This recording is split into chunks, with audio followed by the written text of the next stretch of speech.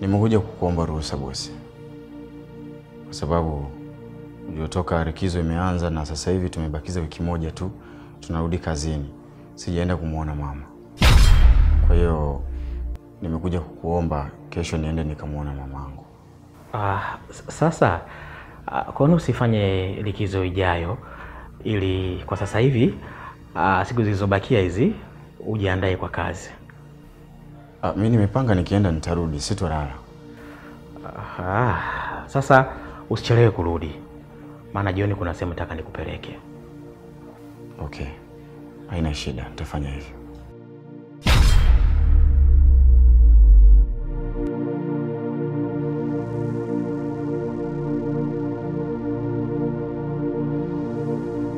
Huyo akifika kwa mama yake lazima ataonana na mchungaji, mambo yataharibika. Hapa lazima nifanye jambo.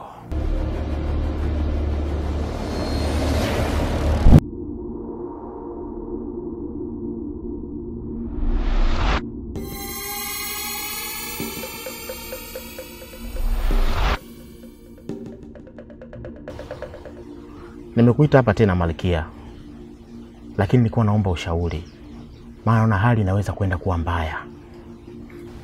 Najua kila kitu kinachoendelea sasa. Cha kufanya usimzuie, mwache aende kwa mama yake. Sasa hofu yangu kama atafanikiwa kwenda kuonana na mama yake, lazima mama yake ampeleke kwa mchungaji. Kuna kitu inabidi nikufahamishe, usiwe na wasiwasi kabisa. Sisi ndio wamiliki wa hii dunia. Nimekuelewa Malkia, lakini bado sijajua nini cha kufanya.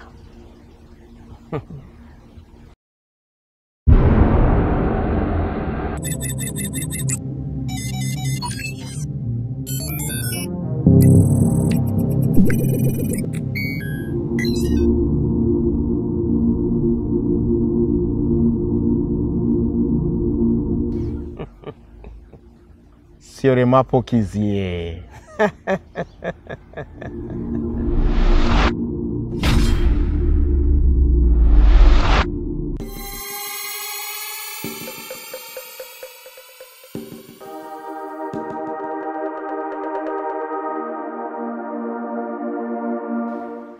Mpaka nimefika hapa, nimeshashuhudia matukio mengi sana ambayo yananifanya nashindwa kuishi na mwanamke tena. He, pole sana. Ni vitu gani vilikutokea? Baba yangu alioa mwanamke, walipokosana, ule mwanamke alimtia sumu iliyopelekea kifo chake.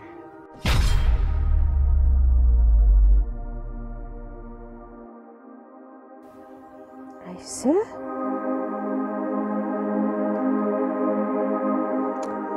pole sana mchungaji. Asante. Kabla sijaapishwa kuwa mchungaji rasmi, niliishi na mwanamke. Alikuwa na tabia kutoka usiku wa manane. Nilipojaribu kumfuatilia, niligundua ni shetani anabadilika kuwa nyoka, na nilipomsii swala la maombi, hapo ndipo alipokata hata kabisa kuguswa.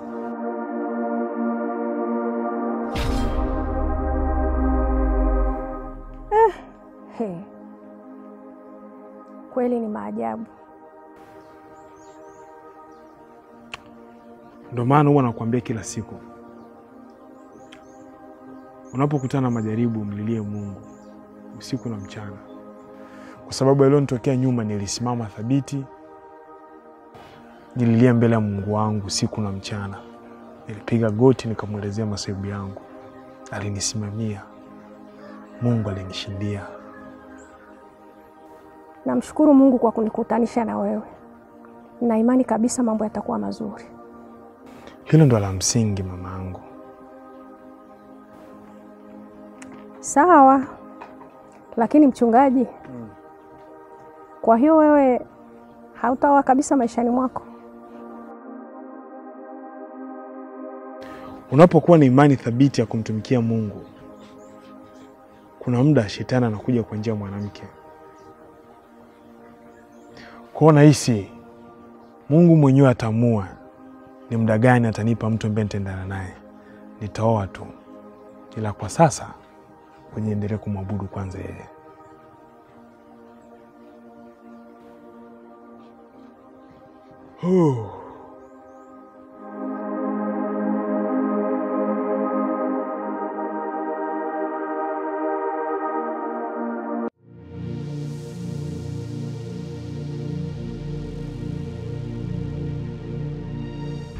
Kijana,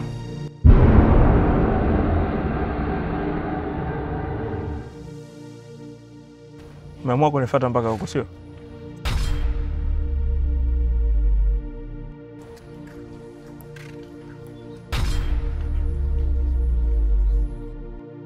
sijataka kukuzuru, ila nimekuja kuambia kitu kimoja.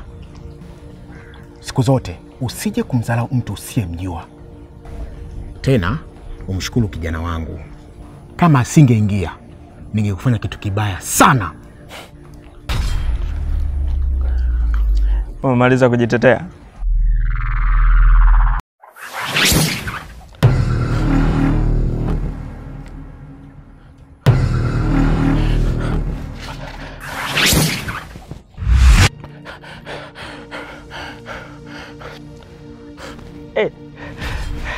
Sasa hivi usipoteze muda kufuatilia watu ambao hawana uwezo wa kufanya chochote.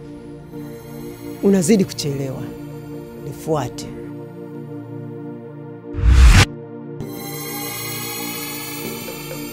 Ulichokiona hapa Eh, usije kumwambia mtu yoyote yule. sawa sawa sawa.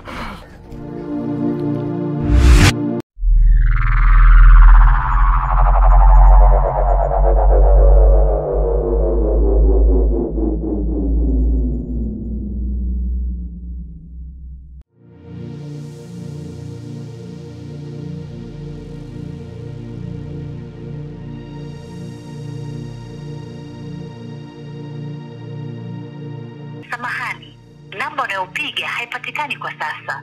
Tafadhali jaribu tena baadaye.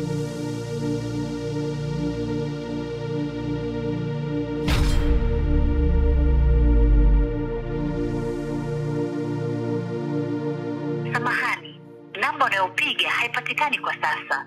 Tafadhali jaribu tena baadaye.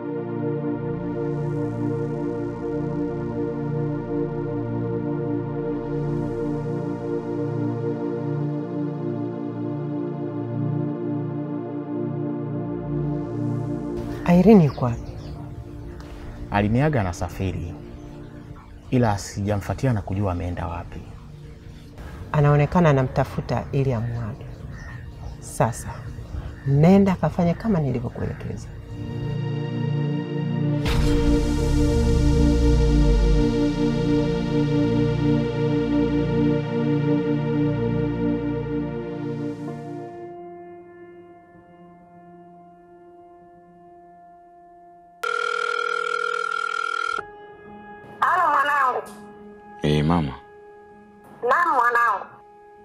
Nakuja, niko njiani.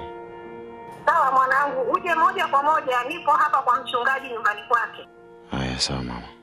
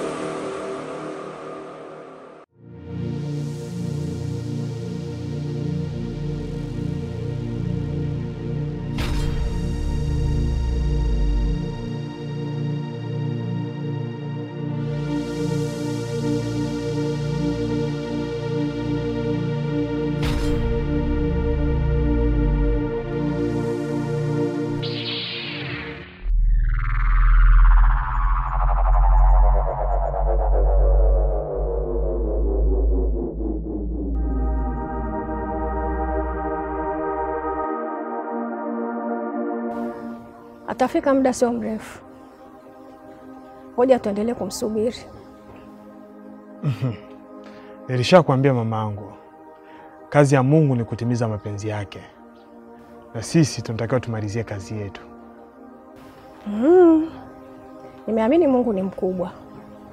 Leo mwanangu ameshukiwa na Roho Mtakatifu akampa ufahamu wa kumbukumbu kuja nyumbani. Swadata,